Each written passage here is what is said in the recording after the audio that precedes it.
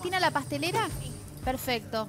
Hiciste primero las yemas con la maicena. Sí, ahora eh, cuando esto ya hierva, lo Ojo con los grumos, ¿eh? Ojo que no se Sí. quemen ni se voy a hacer con el batidor, así que no va a tener grumos. Perfecto. Muy Eh, bien. voy a poner un poquito acá y después lo uno todo. Acordate después enfriarla en una placa Sí. y ponerle film arriba. Si no tenés film, ¿tienen film ahí todos? Sí, acá abajo. Perfecto. Enfilman bien para que no se haga la nata esa horrible que después va a quedar fea.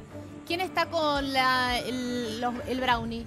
Eh, yo estoy con el brownie, ya tengo la preparación hecha, tengo el molde en la heladera enfriando para que no se pegue y Eh, ya lo, eh, ya lo no, arranco a cocinar. Pero en el horno lo tenés que meter. Ya- ya lo- ya, ya, ya, ya lo mételo meto. ya, ya, porque no te va a llegar a enfriar y después cuando le pongas la crema se va a, a caer todo. Ya, lo primero Sí, que tenés que hacer es meterlo no en el horno. lindas. El horno, ponelo fuerte y después lo vas a bajar. El brownie no hace falta ponerlo No tenemos ninguna. en el frío, directamente al horno. Diego, no tenemos A ninguna ver. placa nomás. Mira a ver si tienen los de verde. Ahí está por Sí. hacer el, el merengue italiano. Sí.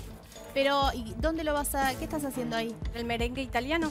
Pero no, me querés poner acá? la batidora. Acá, acá, acá, acá, ponelo acá. Directamente en la sí batidora, Ahí no a está. mano, no y le agregás los hilos de almíbar. de Para, para. Un minuto. Ahora La batidora limpia y seca, porque si no, no va a levantar nunca ese Está merengue. limpia.